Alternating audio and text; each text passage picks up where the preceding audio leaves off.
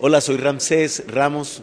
Quiero invitarlos aquí al Teatro Colón, que es el teatro de todos los colombianos, a que vengan a ver el espectáculo El Crimen del Siglo.